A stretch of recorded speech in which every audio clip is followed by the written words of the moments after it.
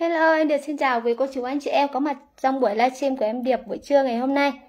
À, lời đầu tiên thì em Điệp xin chúc uh, quý cô chú anh chị em có một ngày thật vui, thật hạnh phúc và mạnh khỏe, hạnh uh, giàu có, giàu có từ bên trong và giàu có cả bên ngoài. Được không ạ? À, đây, em xin chào anh uh, Trương Nguyễn nha. Xin chào cả nhà mình.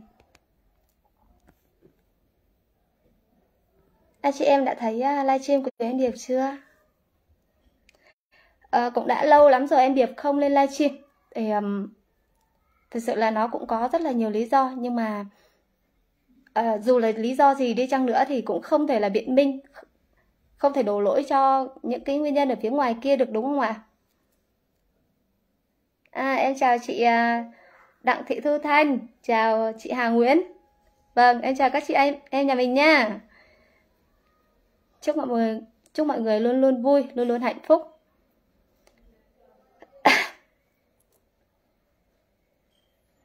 Giờ này thì em nghĩ rằng cũng có rất là nhiều anh chị em đang đi làm đúng không nào? À, anh chị em vào tương tác uh, livestream cùng em Điệp nha.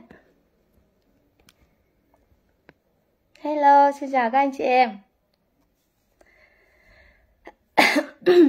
cũng có rất là nhiều anh chị em chưa biết đến em Điệp và cũng rất là nhiều anh chị em thì đã biết rồi. Thế thì à, à, em Điệp xin được giới thiệu bản thân mình một chút với quý cô chú anh chị em để chúng ta cùng hiểu nhau hơn. À, à, em Điệp tên đầy đủ là Triệu Thị Điệp và em sinh năm 1986. Hiện tại thì em đang sinh sống và làm việc tại thành phố Buôn Ma Thuật, tỉnh Đắk Lắk. Dạ. Yeah. Vâng, em chào các anh chị em nha. um, bạn thân em Điệp á là sinh ra trong một gia đình thuần nông thôi anh chị ạ. Đó. À, em là con cả trong gia đình có bốn anh chị em. Thật sự là những cái quãng thời gian thơ ấu của mình ý, khi nhìn lại thấy bố mẹ rất là vất vả để nuôi được các con ăn học uh, là cả một cái sự cố gắng không ngừng nghỉ của bố mẹ. Bởi vì thực tế ra là bố mẹ mình làm nông mà. Làm nông thì những cái nguồn thu nhập ấy, những cái nguồn thu nhập mà từ những cái vụ mùa nó rất là ít. Và có một cái nghịch lý rằng à, em được nhận thấy rất rõ là nếu mà ví dụ chúng ta làm nông đi à, được mùa thì chắc chắn là mất giá. Và được giá thì chắc chắn là sẽ mất mùa. Đấy đấy là cái quy luật mà hầu như rằng thiệt thòi nhất vẫn là người nông dân. Đó. Và sau khi mà bố mẹ à, đã cố gắng cho các con ăn học đến năm lớp ừ, 12 hết á anh chị ạ thì um, em cũng có trải qua một cái quãng thời gian đi làm công nhân. À, làm công nhân ăn lương thì um, rất là nhiều anh chị em cũng thấy cực kỳ vất vả mà cái mức lương của mình nó không được bao nhiêu hết. Đó. Ừ, em chào các anh chị em.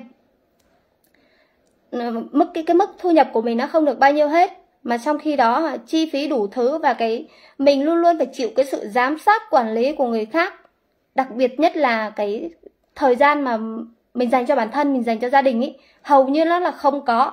Đó.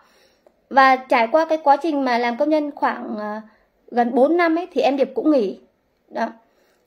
Cái sự học cái sự khao khát vươn lên ở trong con người Điệp nó luôn luôn có anh chị em ạ. À, thế nên là em lại quyết định một lần nữa bước đến cái giảng đường đại học. Bằng chính cái sức của mình uh, tự tạo ra cái khoản tiền để mà mình um, mình có để có những cái nguồn thu nhập để trang trải cho cái cuộc sống trang trải cho học phí này. Đó lúc đó là hai chị em của em đi học đại học lận cơ.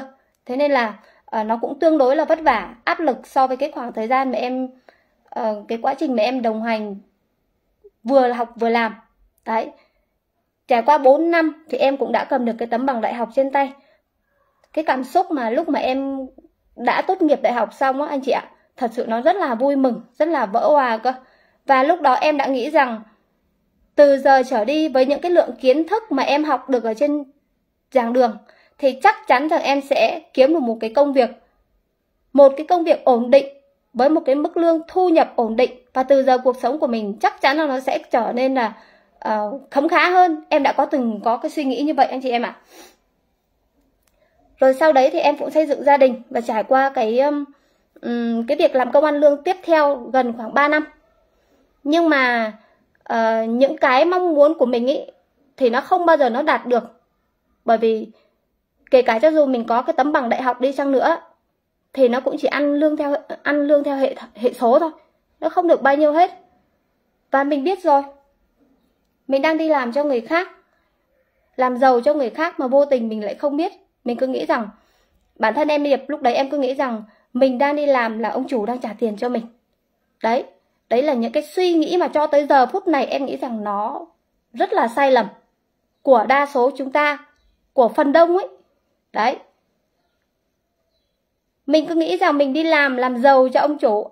À, mình cứ nghĩ rằng mình đi làm ông chủ đang trả tiền công cho mình. Nhưng mà mình lại không hình dung được là mình đang mắc phải cái bẫy tài chính. Đấy chính là mình uh, cái câu chuyện mà uh, cái bó cỏ mà treo trước uh, trước trước mắt của con lừa con lừa nó chỉ nhìn thấy cái bó bó cỏ và cứ thế chạy theo. Đấy. Và uh, không bao giờ mà chúng ta đạt được cái uh, mục đích mà chúng ta đã đề ra. Đấy. Và sau khi mà trải qua cái quá trình mà em làm công an lương ấy, thì em cũng thấy chán. Bởi vì con người mình là nó không chỉ dừng lại ở cái mức đó nên là em lại bắt đầu em nghỉ việc. Thế thì em cũng có một cái khoảng thời gian một thời gian khoảng 3 năm em ở nhà em trông con. Và năm đúng rồi ạ đúng chính xác luôn chị. Làm thuê cho người khác là mình đang bán cái sức khỏe bán trí tuệ bán cả thời gian của mình bán cả cái ước mơ của mình cho người khác mà mình lại vô hình chung là mình không hề biết. Đấy sau khi mà trải qua cái quá trình như vậy thì em cũng đã nghỉ việc. À, em ở nhà em trông con nhỏ. Đầu năm 2018 ấy thì em có bén duyên với môi giới bất động sản anh chị ạ bởi vì em thấy cái con bé nó ở gần phòng trọ của em á um, nó nói về này uh, em thấy chị cũng tương đối là nhanh nhẹn hay là chị đi làm với em đi. À, em bây giờ lương tháng của em ít nhất là cũng phải 15 20 triệu. Đấy. khi mà nghe được cái con số mà 15 20 triệu ấy em vô cùng thích. Bởi vì cái quãng thời gian mà mình vừa trải qua đằng đẵng bao nhiêu năm đấy mình không hề có được một cái mức thu nhập nó cao như vậy và mình cảm thấy nó là một cái một cái gọi là cái ước mơ của mình. Chắc chắn là mình sẽ phải đạt được nó. Thế là em đã đồng hành cùng cái uh, công việc bất động sản được khoảng gần 4 năm. Từ năm 2018 và đến năm 2000 cuối năm 2021 đấy. Và cũng nhờ lộc của bất động sản thì em cũng đã mua được đất và xây được nhà. Cũng rất là cảm ơn. Rất là cảm ơn các anh chị em mà đã đã đưa cái cơ duyên mà bất động sản đến với em. Đó cái sự khao khát vươn lên và vươn lên nữa trong con người em nó không chỉ dừng lại ở cái mức là 15 triệu hay 20 triệu. Bởi vì em nghĩ như thế này, nếu mà bây giờ mình cứ đi, tiếp tục đi làm và làm như, làm những cái công việc cũ như thế này thì liệu một ngày nào đó, bởi vì bản thân mình tuổi trẻ nó có giới hạn mà, bây giờ em cũng đã 37 38 rồi. Thế thì làm sao mà mình có thể mình so được với các bạn 20 21 người ta mới bắt đầu làm và người ta đầy cái tinh thần nhiệt huyết đầy sức khỏe ở đó mình không thể cạnh tranh với với, với các em ấy được. Thế nên là em lại nghĩ thế này. À, nếu mà bây giờ tôi dừng lại tôi không làm nữa thì liệu rằng trong thời gian tới tôi có nuôi nổi gia đình tôi nữa không? Đấy. Vậy thì um, cùng cái thời điểm mà cuối năm 2021 ấy, thì em có dư một cái khoản tiền nó khoảng là gần 200 triệu. Ước mơ làm giàu lắm. Làm thế nào mà để cái số tiền này nó biết đẻ ra bây giờ? Đấy nghĩ đủ cách hết. Bây giờ bất động sản ấy thì không thể không thể nào mà theo nó được bởi vì tiền bỏ ra để đầu tư một cái lô đất nó rất là lớn. Phải là tiền vài trăm hoặc là tiền tỷ trở lên. Đấy bởi vì em đã đồng hành cùng bất động sản nên em hiểu rất rõ cái vấn đề đó. Um, đất thì không thể mua được này. Thế thì bắt buộc phải tìm một cái kênh nào khác tìm một cái kênh nào khác để tôi đầu tư vào.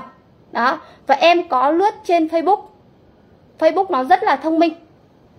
Chỉ cần uh, anh chị em của mình bấm vào đầu tư tài chính thôi là nó sẽ hiện lên tất cả những cái kênh đầu tư nào là forex nào là cổ phiếu nào là chứng khoán rồi sàn kỹ thuật số gì vân vân và vân vân. Đấy. Và chính tại thời điểm đấy uh, nhờ các nhờ cái sự chuyên gia tư vấn một một của các em ở trên sàn đó đó thì em đã bị mất đi một cái số tiền nó khoảng là uh, hơn 500 triệu anh chị em ạ đấy. Cái số dư của mình có gần 200 thôi, nhưng mà cuối cùng là mình phải âm đi. Mất ba trăm mấy nữa. Đấy. Trong cái lúc mà em rất là hoang mang ấy, không biết đi đâu về đâu. Thì một ngày vô tình em lại lướt trên Facebook. À lướt trên cái nhóm Zalo của mình, bởi vì nhóm Zalo của em rất rất là nhiều.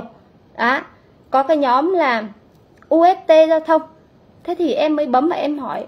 Em hỏi vô tình thôi chứ không có ý gì hết. Em chỉ hỏi là, ủa, ở đây là Ờ, bán cái cổ phần hay cổ phiếu gì đó, phải không ờ, các anh chị?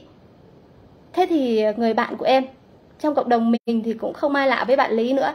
Bạn ấy đã liên hệ lại với em và nói rằng, bây giờ bạn thế nào? Công việc ra làm sao? Và lập tức thì hai vợ chồng bạn ấy lên nhà em chơi và có, và đưa ra cho em một cái lời khuyên nó rất là nhẹ nhàng.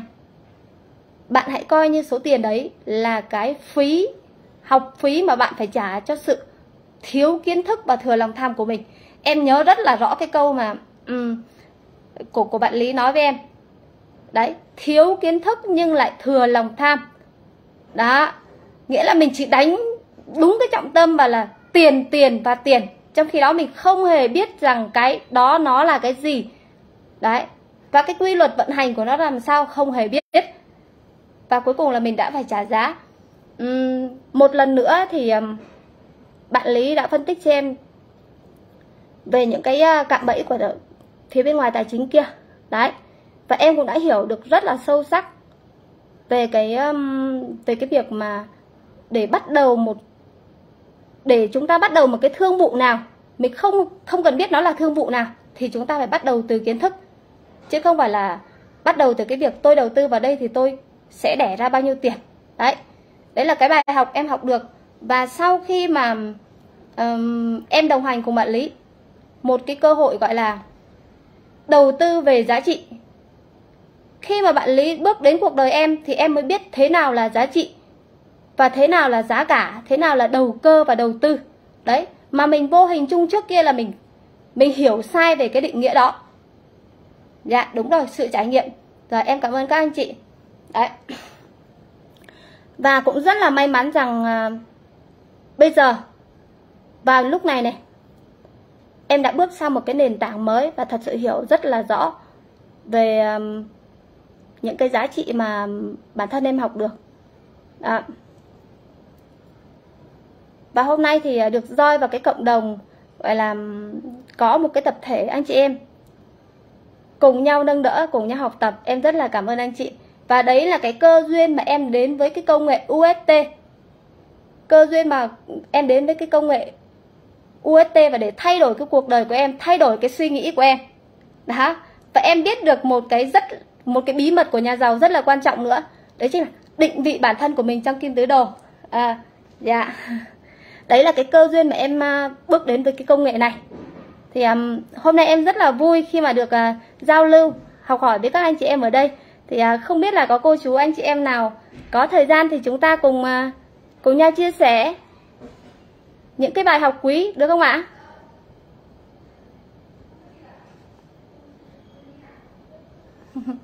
Alo, có anh chị em nào rảnh không?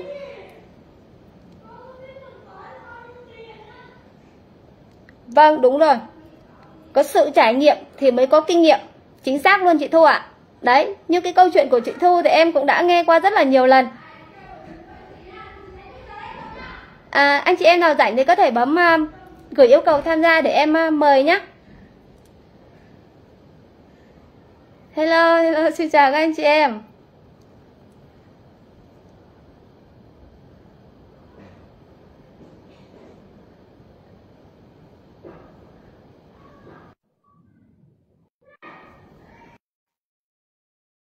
Cô mến ơi cô có rảnh không?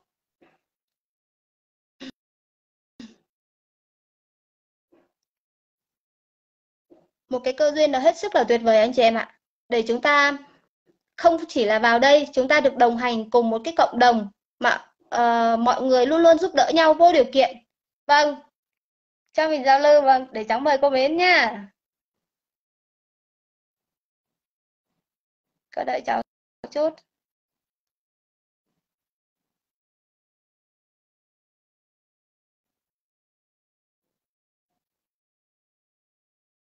Cô ơi cô bấm yêu cầu tham gia được không? Sao cháu bấm uh, mời mà nó không lên nhỉ?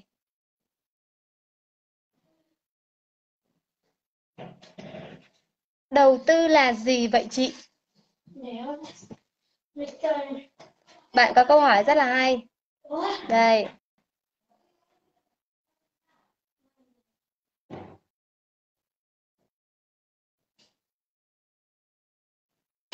Ô chị ơi, em bấm em bấm chấp nhận rồi đó, chị có thấy không nhỉ? Ok. Hello, xin chào em Triệu Điệp. Chào các cô chú, anh chị đang theo dõi livestream của em Triệu Điệp nha.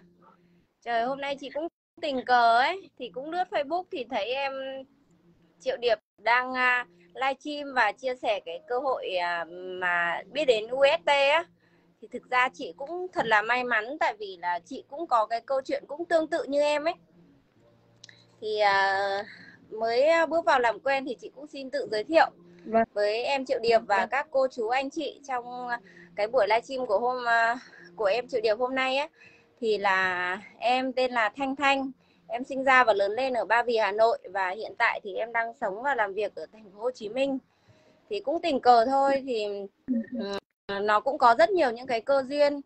Em sinh ra thì cũng trong một gia đình nghèo có bốn anh chị em cơ. Nhưng mà nói chung là cuộc sống để mà kiếm tiền để mà tính đến cái sự giàu có hay là để học hỏi uh, cao thì thực sự ra là lúc đấy thì bản thân em Thanh Thanh thì không học không có giỏi cho nên là không có học lên đại học mới lại hai nữa là vì điều kiện gia đình nữa mình cũng mình cũng không có cái cơ hội để đi à, để được đi học ấy.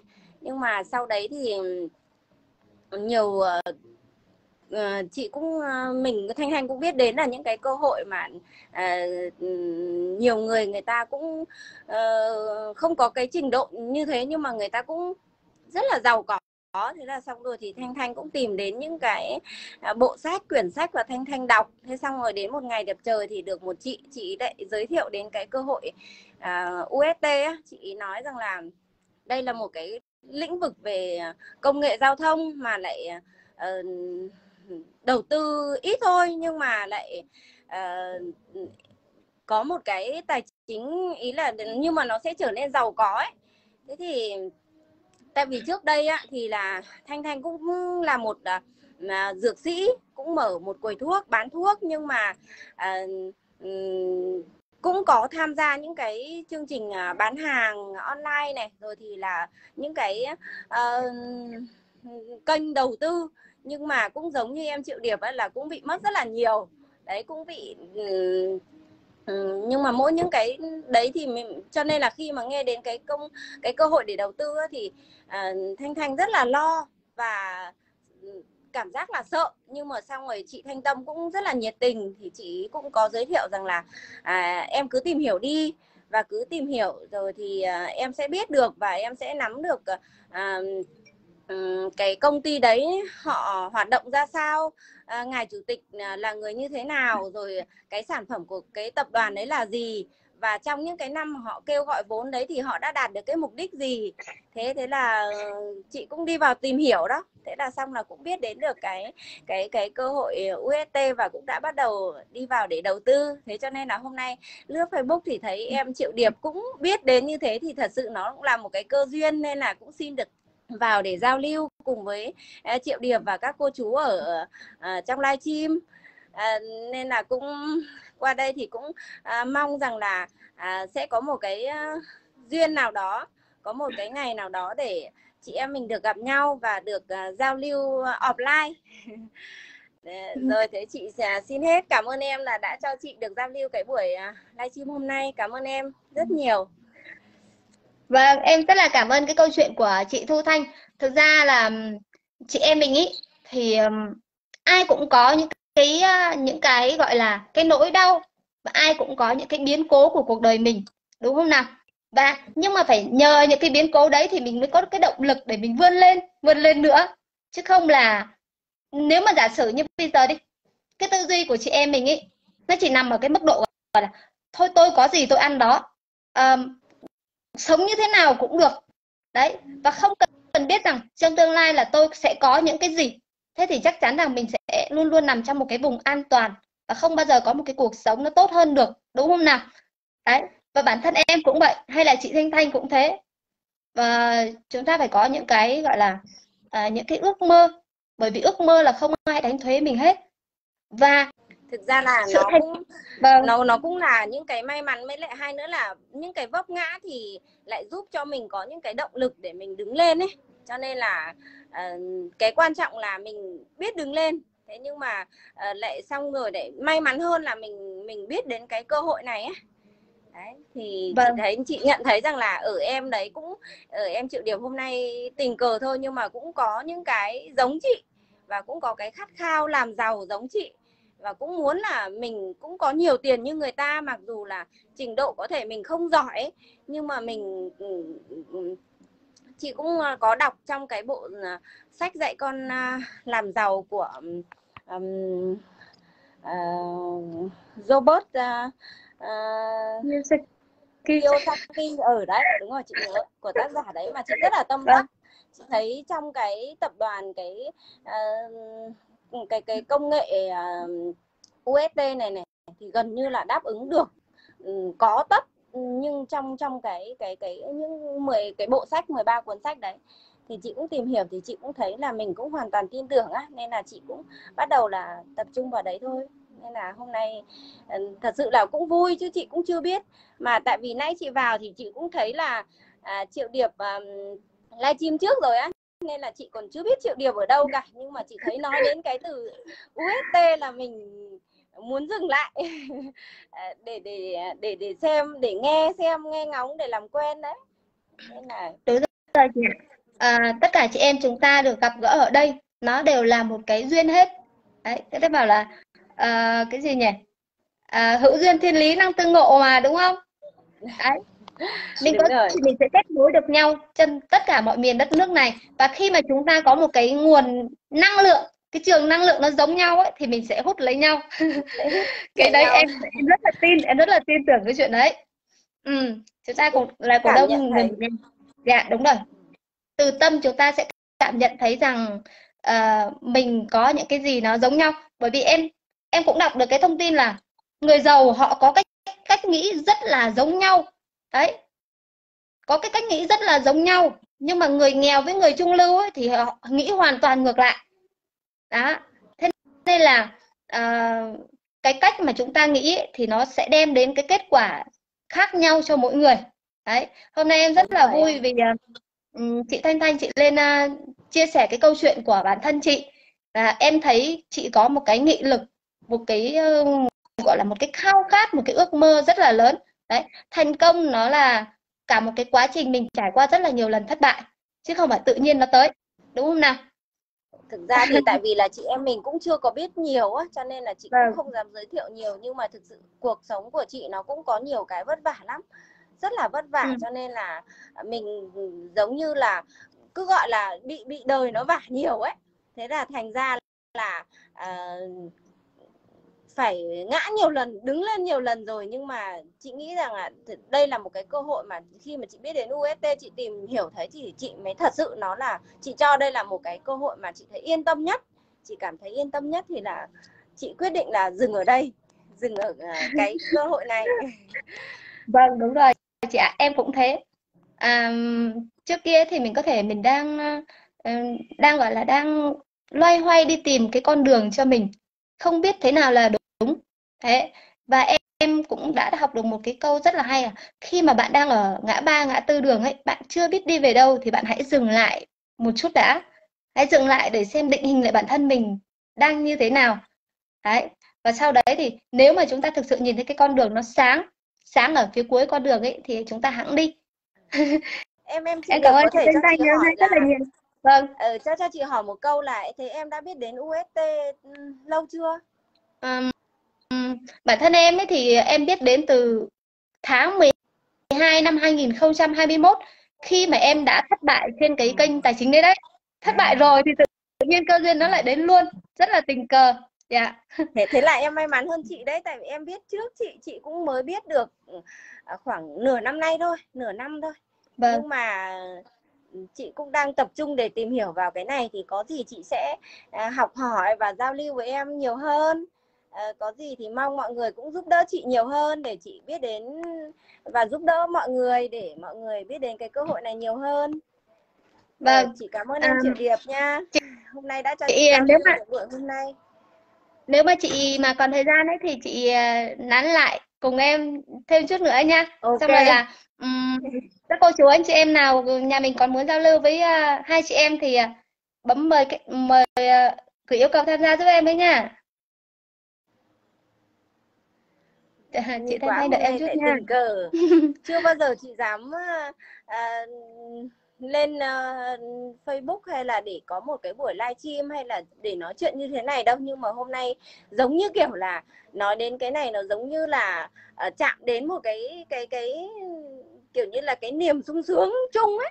Nên là vui quá nán lại và xin để được giao lưu luôn đấy. Nhắn lại nha. Chị đợi em một chút nè à, cô Mến ơi cô nói là cô cũng muốn giao lưu cô gửi yêu cầu giúp cháu đi. Tại vì cháu bấm lời mời, nó nó nó báo là lỗi kỹ thuật này. Cháu thêm mà sao nào? Nó báo là ờ, người này không thể tham gia do gặp sự cố kỹ thuật. Vâng. Cô bấm gửi yêu cầu tham gia giúp cháu với.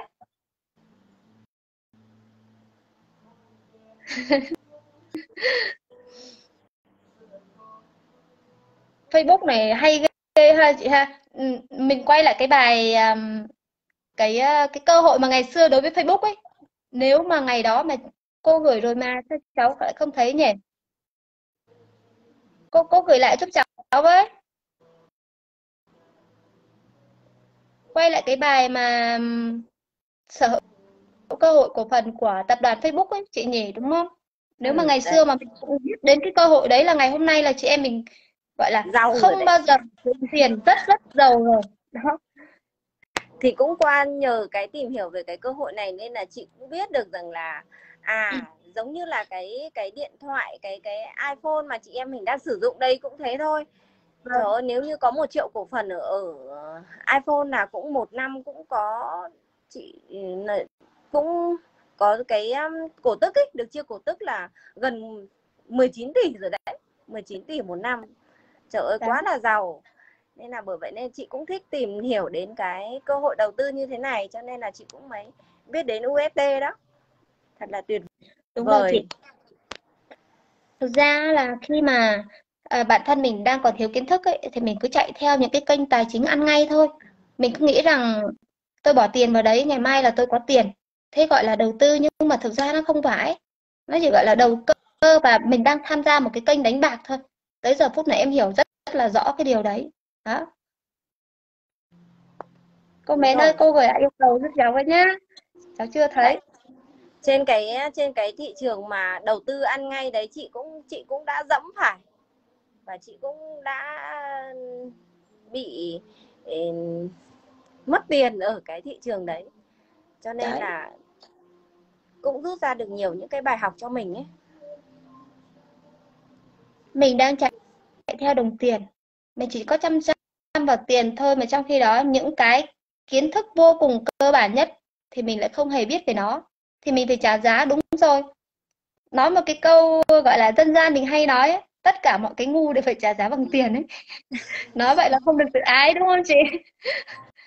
Ai mà còn tự ái là người đó chưa chưa thành công được đâu. Đúng rồi đấy cái này không tự ái được đâu mà cái này quan trọng là mình phải biết ừm, biết vươn lên. Tại vì chị cũng đã đã từng nói chung là để mà làm làm việc mà để kiếm được nhiều tiền ấy thì cũng khó. Rồi kinh doanh để mà kiếm được nhiều tiền cũng khó.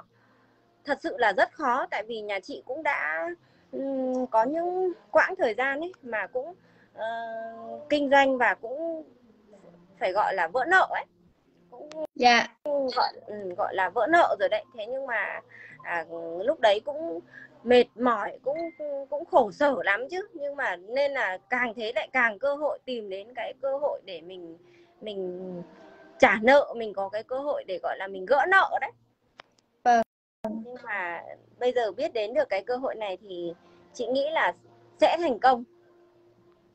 Chắc chắn là sẽ thành công nhất định sẽ giàu có vào năm 2024 chắc chắn một điều chị ạ. Cô mến ơi cháu à, gửi được lời ừ, mời của cho cô rồi đó. Chắc chắn à điều đây chị ạ. rồi. Cháu á, gửi được lời mời cháu xin cô mến cho cô rồi đó. Chị Thanh nán lại chị em mình tâm sự tiếp nha. Ok. Xin chào. Cô ơi sao lại không thấy hình nhỉ không biết được. Cô cô cũng ờ, không biết là, sao không thấy hình. Chắc là bị rồi. Vâng Hay chắc là- là lỗi rồi. vâng chào chào triệu cô điệp. Dạ chào cảnh um, đang uh, lưu trên uh, Facebook nha dạ, cháu tuyệt chào vời. Hôm nay là mình Vâng. Cháu rất là vui khi mà cả- cô à, bỏ ra một chút thời gian để lên đây giao lưu cùng chị em cháu. Thế vậy thì à, cô có thể ừm, giới thiệu một chút về bản thân mình để cho các anh chị em ở trên livestream của ờ, hai chị em được biết được không ạ? thì uh, cô giới thiệu là cô uh, tên là Hương Mến ở trên uh, Facebook đấy là lấy nick thế còn tên thật là Lưu Thị Mến hiện nay đang sinh sống tại uh, Phả Lại Chí Linh Hải Dương thì uh, qua cái thời gian à, tức là bây giờ thì à, thực sự là nếu mà nói về tuổi thì nó cũng hơi nhiều. Nhưng mà thôi à, cái tuổi nó chỉ là con số thôi theo như cô nghĩ là như vậy. Thế thì uh, cô cũng về hưu là 17 năm rồi. Nhưng mà khi về hưu thì là mình vẫn còn sức khỏe. Thì cũng uh, mong muốn là mình làm thêm những các cái công việc để có thêm thu nhập thì cô cũng à, qua bao nhiêu năm tức là trước kia thì có một ông chú tức đến đến bây giờ mình à, vẫn biết ơn tức là mặc dù là à, ông ông cũng đã mất là hai năm nay rồi Đấy. nhưng mà lúc đó là ông bảo là phi thương bất phú thì những cái năm mà 74, 75 ấy thì những cái năm đấy mà đi kinh doanh hay buôn bán ấy thì thường có một cái ác cảm. Thế nhưng mà hàng xóm ấy thì ăn coi là độn mì độn mạch nhưng mà nhà ông thì vẫn cứ coi là có thịt bò ăn cái ngày này có thịt bò ăn là nó sang lắm rồi tức là giàu có lắm rồi tức là mình nhớ là có một cái con xe uh, từ cái năm mà mà mà 74 75 đã có cái con, con xe tức là 50 cúp 50 ấy. Thế thì mình bảo là coi là uh, lúc ý thì ờ, chỉ mười mấy tuổi thôi, 17 18 tuổi thì cũng cũng chỉ nghĩ là à, à cái ông ông chú nhà mình là tài giỏi là làm kinh doanh như thế. Nhưng mà thường thường là người ta không không lúc đó là không tôn trọng về cái ngành nghề đó, kinh doanh.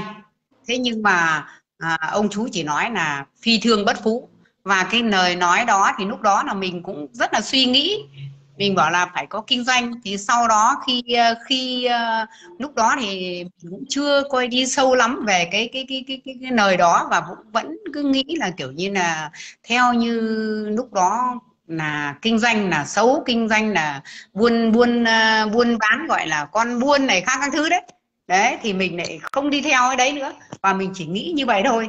Thế và tiếp tục đi học và đi học công nhân kỹ thuật sau đó là đi làm cũng làm công ăn lương 25 năm.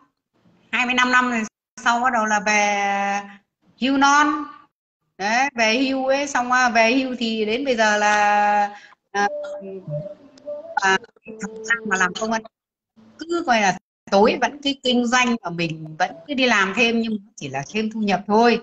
Thế nhưng mà khi mà về hưu rồi thì là mình à, à mình đi làm làm bảo hiểm Ờ, rất tốt thôi.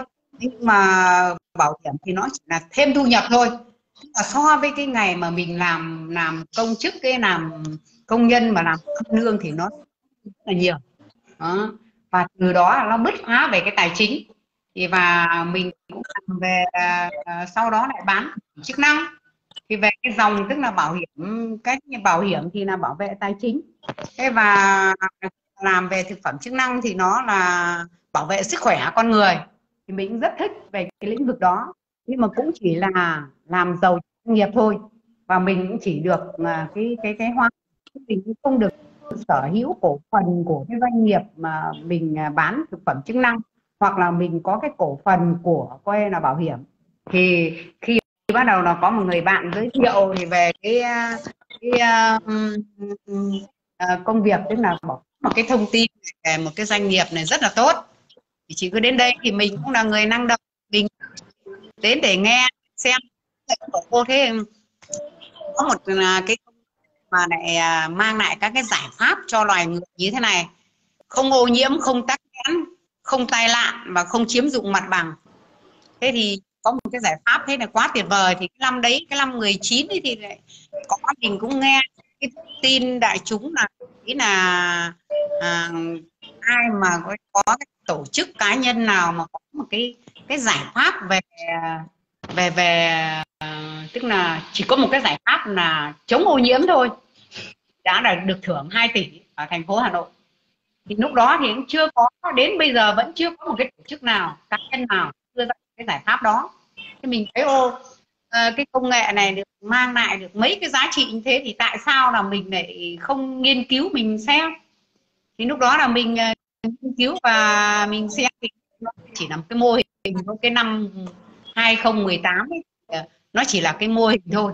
Thế nhưng mà mình về mình nghiên cứu và mình xem video mình nghiên cứu thứ thì mình cái yếu tố mà mình quyết định nhất đấy thì là để mà mình tham gia cái usb này mình đầu tư cái số thì là mà ngài chủ tịch.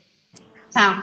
Ngài chủ tịch thấy qua cái, cái, cái tiểu sử ấy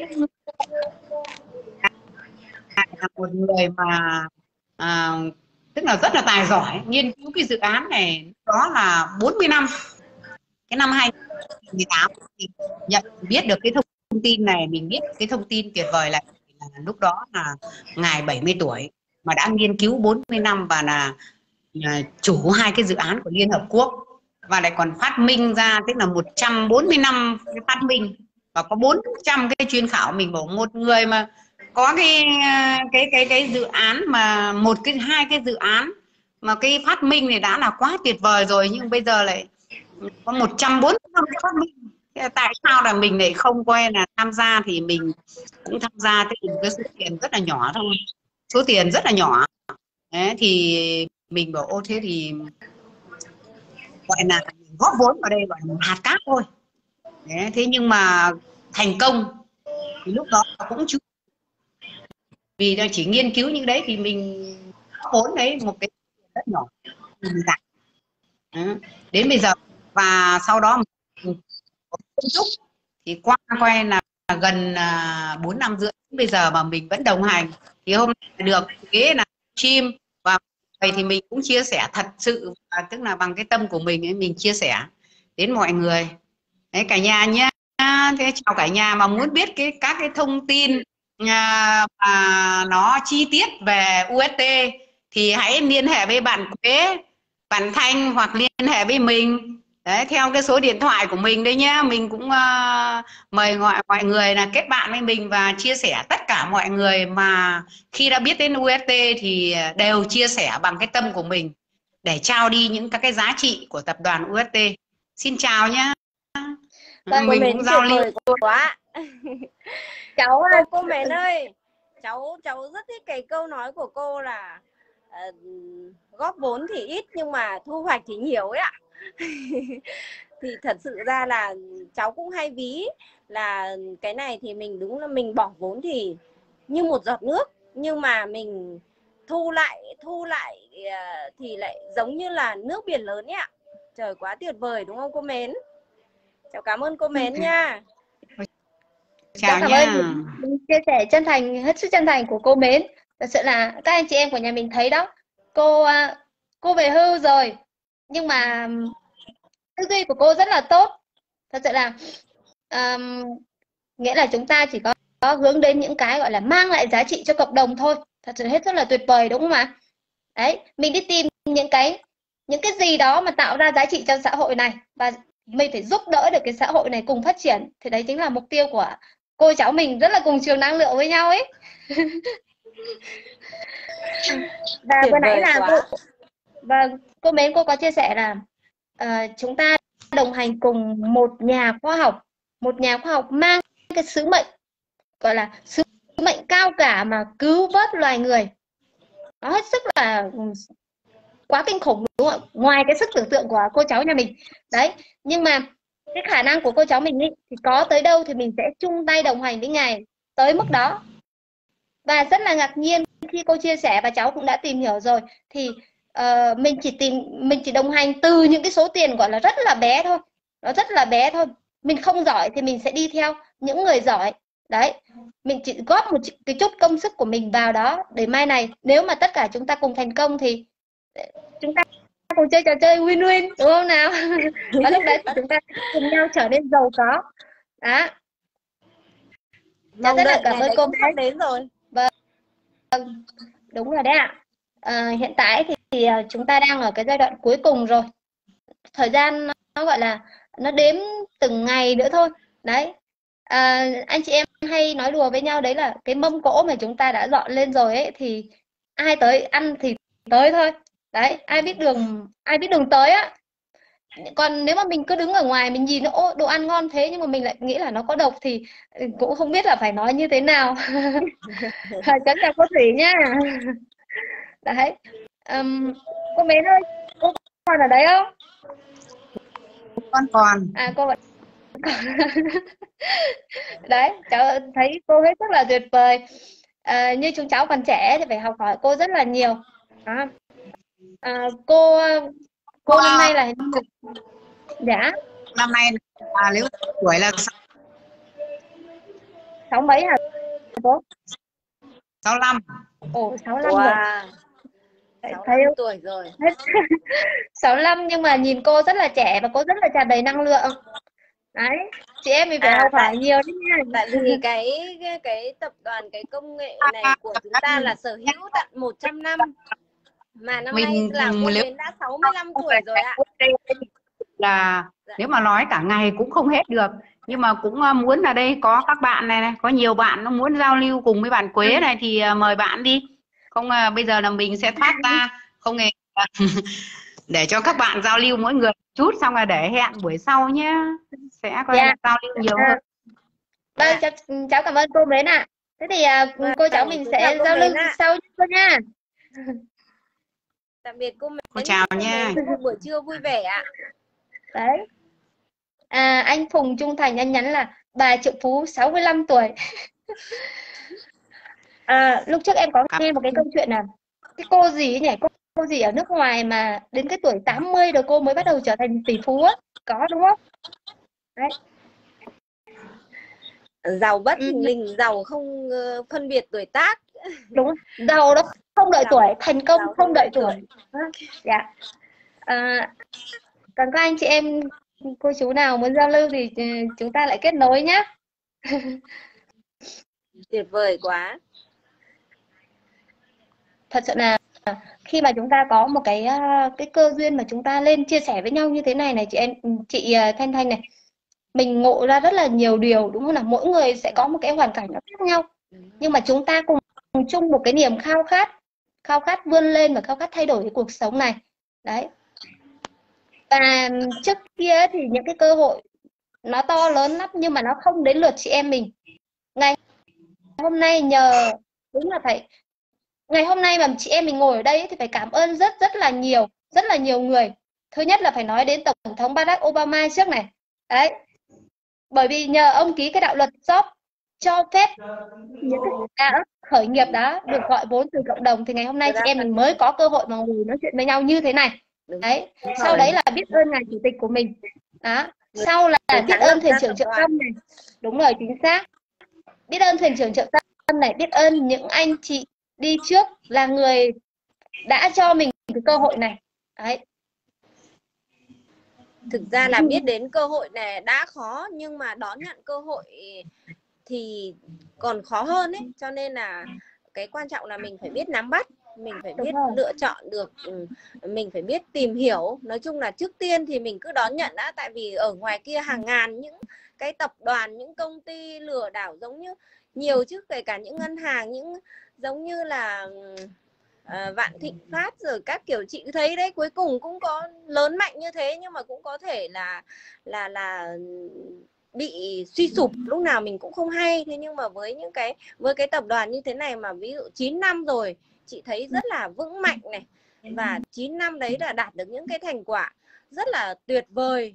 Thật sự là những cái thành quả mà mình cảm thấy ngưỡng mộ luôn ấy.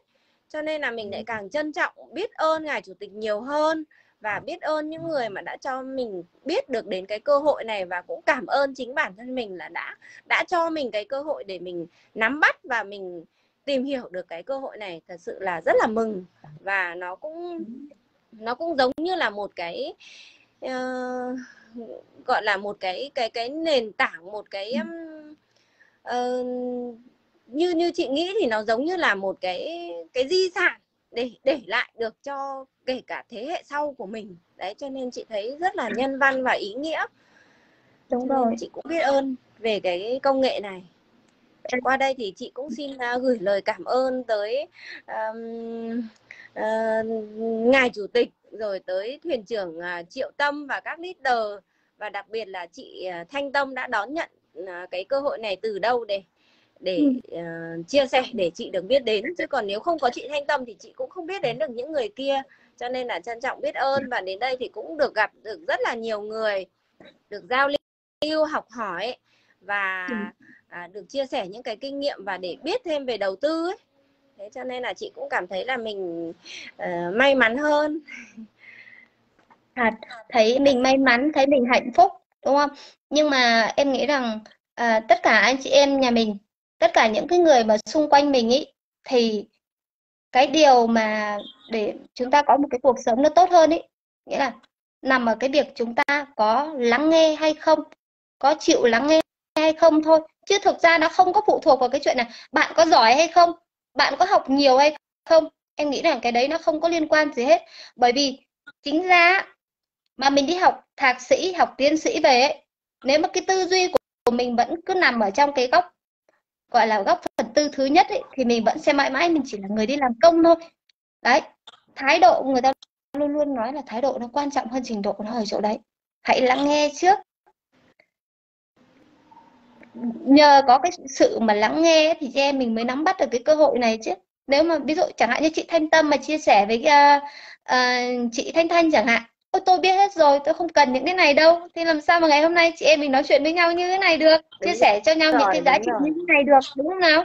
Bản thân em cũng vậy. thoạt đầu là thoạt đầu là lúc đầu là chị là là cũng bị gạt đấy chứ.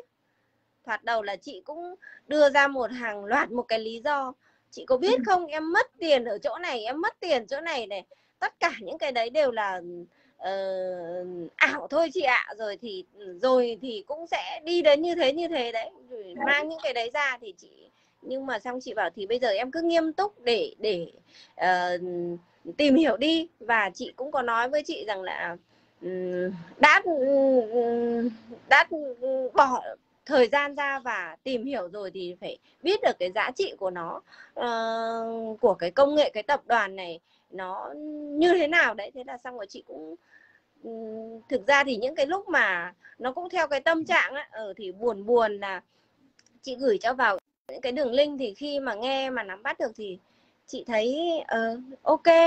Thế xong rồi thì là mới lại quyết định là gọi điện cho chị đấy. Thế xong mới bảo mới nói chuyện với chị đấy là um, ừ, cái này em thấy hay đấy. Đúng thế và có những cái thắc mắc á, thì là cũng mới hỏi chị ấy.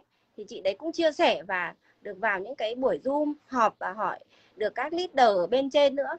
Thì lại càng tìm hiểu thì thật sự đến bây giờ chị càng thấy chân quý.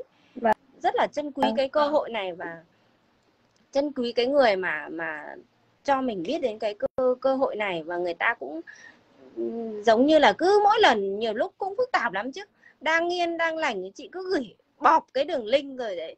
Chị cứ xem đi xem đi, nhưng mà có gửi đến cả đến một một dãy dài cái đường link đấy. Nhưng mà phải, cũng phải lâu lắm, chị mới tìm hiểu. Và đến lúc mà tìm hiểu thì thì thật sự là đúng là cái cơ hội mà mình cũng đang khao khát. Em thì à, nhanh hơn chị, nhanh hơn chị một chút. Bởi vì khi mà em đã xác định là em tin tưởng bạn, em em à, đồng hành rồi ấy, thì em lao vào em tìm hiểu ngay à, lao vào tìm hiểu ngay là không biết là cái này nó có đúng là như bạn mình nói hay không. Đấy vừa mang lại cái giá trị cho cho cộng đồng này mà mình lại vừa làm giàu cho mình nữa thì tội gì mà không tìm hiểu? Mà trong Đúng khi đó rồi. cái à, khoảng thời gian mà mình bị mất tiền ấy thì nó chỉ gọi là mình đang đua theo lòng tham mà. Đấy. Đó cái giá trị thì mình phải đi tìm thử xem biết đâu đấy là cái định mệnh của cuộc đời mình thì sao. Nhưng Thế mà mà nó đến nhưng thật mà đấy kiểu ừ, đấy là đấy là có những người ở trong cái trường hợp là mất ít ví dụ như chị là chị cũng rơi vào cái cảnh đấy rất là bị ý là bị nhịn bị nhiều lần ấy. Cho nên là cảm thấy nó mất lòng tin. Cho nên là khi Ừ. mà tìm hiểu thì đúng thật là phải từ từ và phải kỹ phải cẩn thận hơn. Chị Lan Anh đấy. em thấy à, ừ, em thấy chị Hương Biển là gửi yêu cầu tham gia um, chia sẻ với chị em, em mình. Em chào chị Hương Nguyễn nha cả nhà có nhìn thấy mình không? Chưa thấy chị thấy ạ. Chị chị ạ. bấm vào đâu nhỉ? Lần đầu đầu tiên đấy.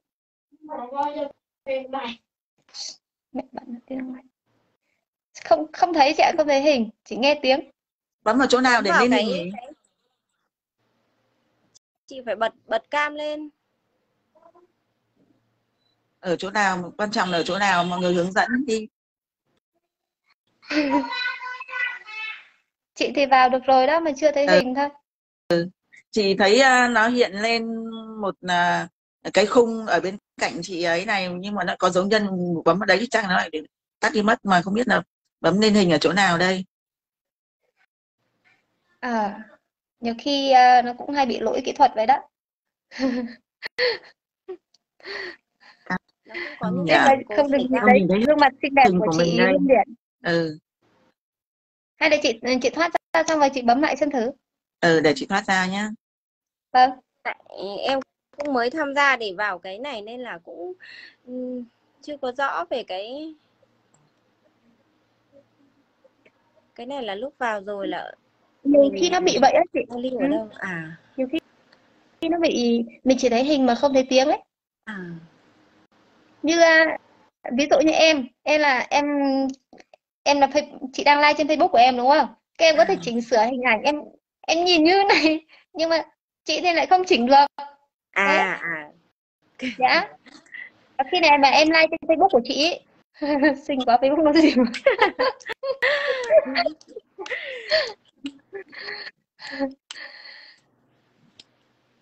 chị Thanh Tâm chị à, chị Thanh Tâm đây là người ờ, chia sẻ cho chị cơ hội đúng không? Phải không rồi đúng rồi đấy chị Thanh Tâm À, đây vâng. Em chào chị Thanh Tâm nha. Ừ.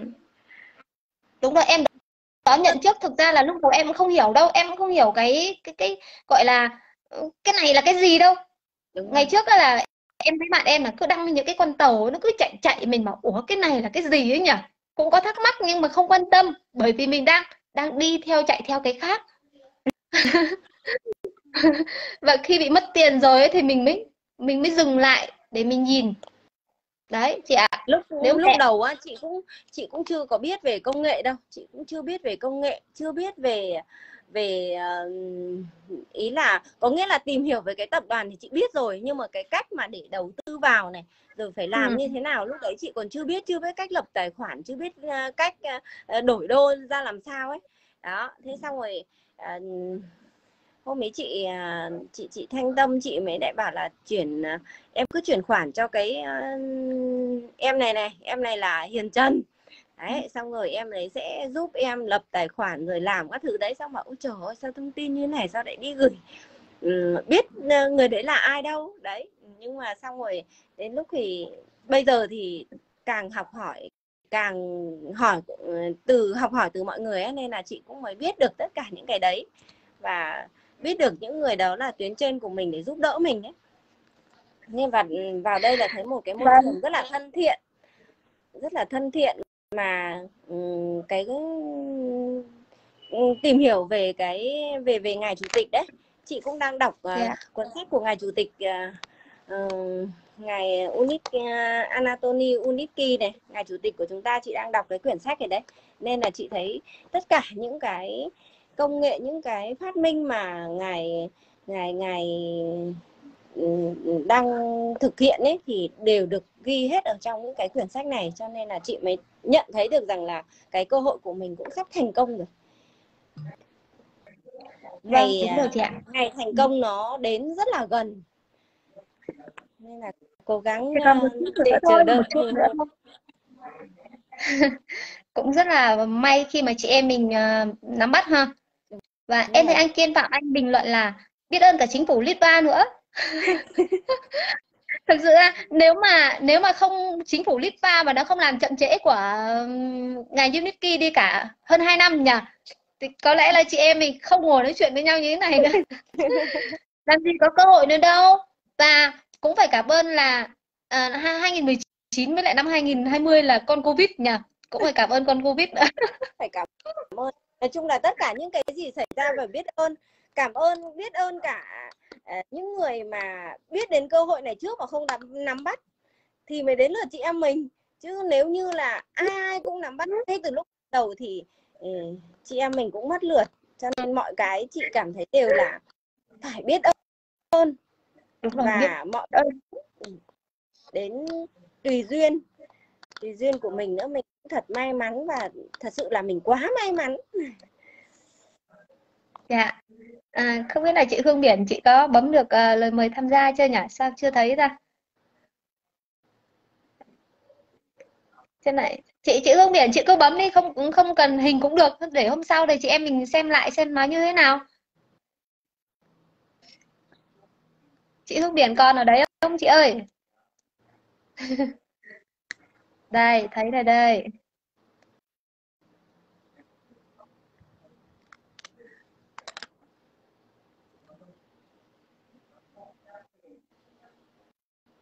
Ờ, hello Hôm chị. không, không biết bấm ở đâu nó lên hình có mỗi tiếng thôi hả dạ Vâng, không sao chị, không sao. Xin chào chào các anh chị nhé. em Dạ. thôi cứ hiện tiếng được chưa cần hiện hình cũng được đúng không hai chị em nói chuyện vui quá. Hay- nói chung là hay, à, hay là do, do chỉ hiện được hai hình thôi hay là để chị chào tạm biệt nha? Không Sợ không là phải là như thế. đâu chị. nhưng mà mình Không thấy là nó ngăn khung hình ra đây chắc chắn là lên được nữa nhưng mà là vì mình Ừ. không biết bấm vào đâu thôi mà đang ở có một mình không biết hỏi ai được. À dạ dạ. Không sao chị cứ giao mình cứ giao bằng bằng tiếng chưa thấy hình cũng được. Để hôm nào thật là xinh đẹp thì để cho hiện hình cho mọi người thấy Bây giờ phải để mọi người tò mò xem là à, chị Hương Biển chị xinh đẹp như thế nào chứ, đúng không nào? à, hồi xưa thanh xuân thì khá là xinh Nhưng- bây giờ có tí tuổi rồi thì là bớt xinh đi rồi. Kém xinh một tí. Chào các chị em à, xinh đẹp của cộng đồng UST Việt Nam nhà mình. Thực sự là à, phải khoe một tí cái tâm trạng với mọi người rằng là từ ngày mình vào UST đến giờ thì ăn ngon ngủ kỹ vui vẻ thoải mái. Chết này còn tăng cân nữa cơ. Béo cơ. Đấy, xin giới thiệu với cả nhà mình à, tên đầy đủ là Nguyễn Thị Thu Hương. À, sinh ra và à, lớn lên đến à, năm 18 tuổi là ở Hải Dương. Sau đó thì mình đi học à, và về công tác làm việc công tác sinh sống tại Hạ Long của Quảng Ninh thì mình công tác ở trong ờ, một cái tập đoàn ờ, của nhà nước, là tập đoàn công nghiệp than khoáng sản Việt Nam. Trong cái thời gian công tác đấy thì cũng ờ, có được chút thành tích. Mình nghỉ à, khỏi à, cơ quan từ 2015 mình về Hà Nội sinh sống và làm việc từ 2009 thế thì cũng trải qua khá là nhiều công việc rồi cũng có những cái thành công và có những cũng có những cái thất bại và thậm chí là có những cái thất thoát khá là lớn về tài chính. Rồi ờ, khi thất thoát về tài chính thì nó lại liên quan đến kéo theo đến cái cái ảnh hưởng về tâm lý về tinh thần ấy. Cũng mất một thời gian dài. Thế thì 2020 thì uh, khi mà dịch Covid 19 bùng phát thì uh, mình cũng tham gia vào cái việc uh, cung cấp các cái vật tư trang thiết bị y tế cho mọi người. Chỉ có quen biết là bạn Hiên Hiên Hiên Hiên ở Lào Cai đó. Cũng là một cổ đông tâm huyết của à, cộng đồng nhà đầu tư Việt Nam của mình ở UST thì đầu tiên thì bạn ấy à, cũng bảo rằng là à, chị ơi em có cái này hay lắm chị à, vào đây mà tham khảo.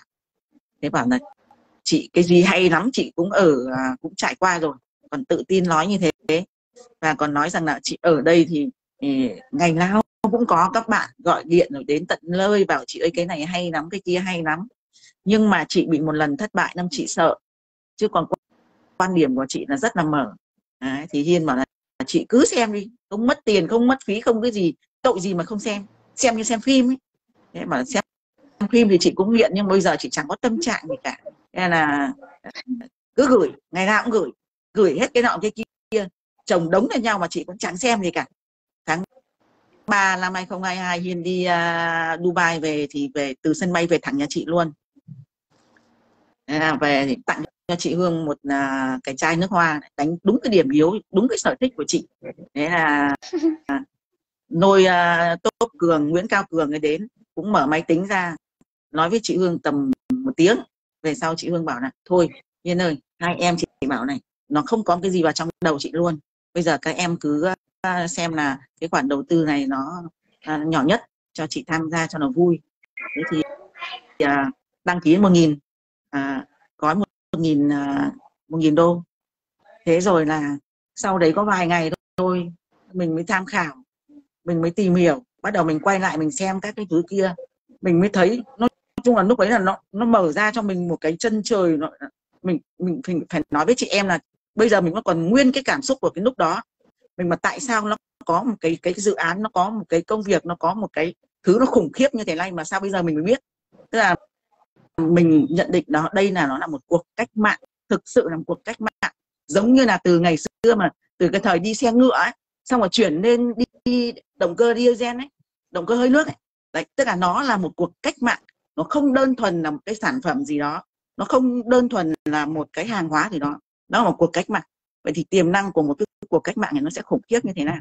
Mình tức là bản thân mình đang nói bây giờ mình cũng thấy rằng là UST với mình với à, với quan điểm cá nhân mình nó là một cuộc cách mạng. Mình thấy nó là nó là một cái cơ hội lớn gọi là ngoài ngoài sức tưởng tượng. Cho đến bây giờ mình có thể là à, mình lan man một chút mình có thể là nói về cái tâm trạng của mình với UST ấy. Là nhiều đêm nhiều đêm mình phấn khích quá.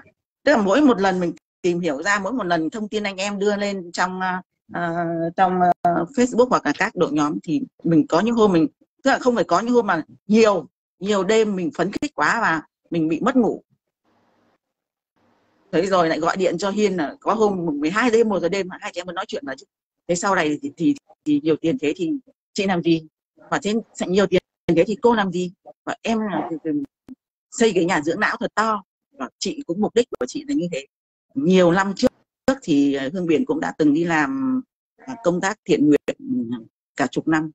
À, tất cả những cái tỉnh biên giới phía bắc là chưa có một chỗ nào là không có dấu chân của hương biển cả. Để chỉ mơ ước là khi mình có thì những những thời gian đó đi làm à, đi làm công tác thiện nguyện thì là đều là là sự đóng góp của các anh em bạn bè các nơi. Thế thì mình cũng cứ mong muốn là ví dụ như mình đi xin mình đi quyên góp ấy thì cũng có những lần thì cảm xúc nó dâng lên là khó chịu.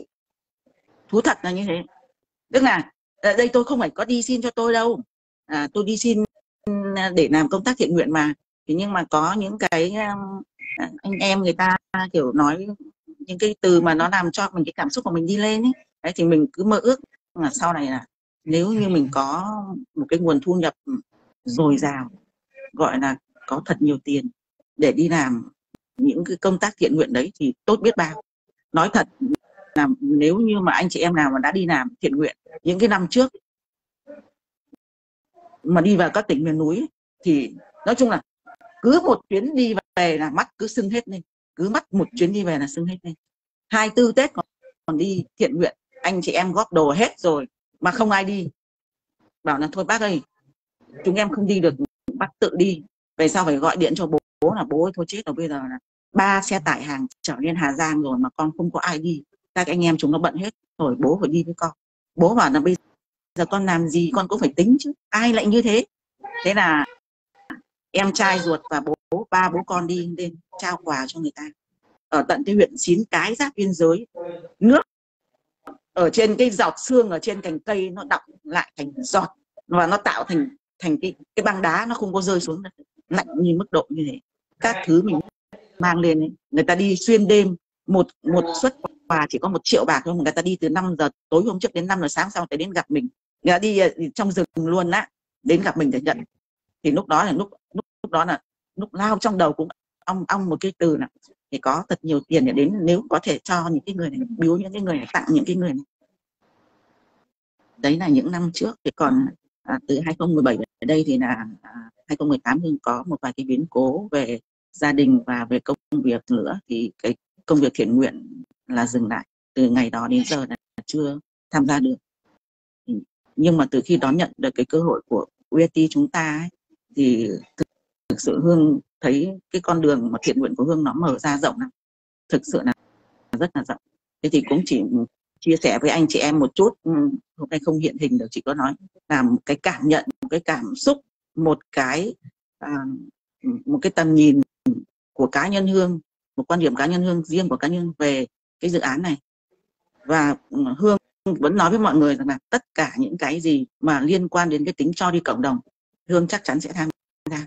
Tính hương là tham lam ôm đồng làm như thế thì khi mình gặp cái à, cái cơ hội của dự án UST này đặc biệt là nghe bạn Phạm Hương ấy bạn Phạm Hương à, ở Hải Phòng đọc viết cái bài thơ làm cái bài thơ về chủ tịch và đọc.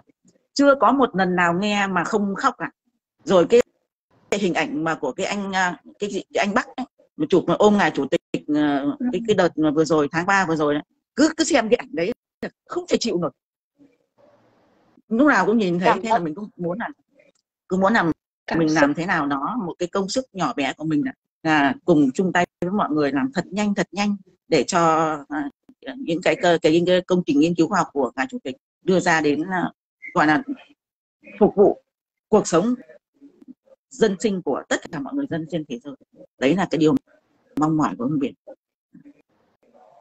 hôm nay thì chị, à, chị Hương Biển mà mà sau này mà sắp tới đây thôi em nghĩ là cũng nhanh thôi là chị sẽ giàu có rồi thì em cũng mong rằng là nếu như chị Hương Biển mà giàu có thì sẽ sẽ có rất nhiều người được uh, chị Hương Biển giúp đỡ. Tại vì là chị Hương Biển có một cái tâm cái trái tim rất là từ bi có một cái trái tim muốn lan tỏa cái cái cái cái giá trị cái cái chương cái mục đích mục tiêu của chị là thiện nguyện cho nên là chắc chắn là chị sẽ thành công.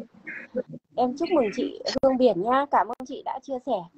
Rất là sâu sắc ạ thật sự rất là cảm động về những cái cái cái quá trình mà chị đi làm từ thiện như vậy. Ủa, chị đâu mất rồi? Chị Hương Biển chị chắc chị thoát ra rồi. Em ờ, cảm ơn cái câu chuyện ờ, chia sẻ hết sức là chân thành của chị Hương Biển thật sự là khi mà nhắc đến những cái việc mà thiện nguyện ấy riêng đối với bản thân em em cũng rất là thích làm những cái công việc đó. Bởi vì uh, cái khoảng thời gian qua là thực ra là em cái số tiền mà em cũng không có nhiều nhưng mà khi mà em có rồi ấy thì tiền rồi em cũng muốn giúp người nọ giúp người kia kể cả.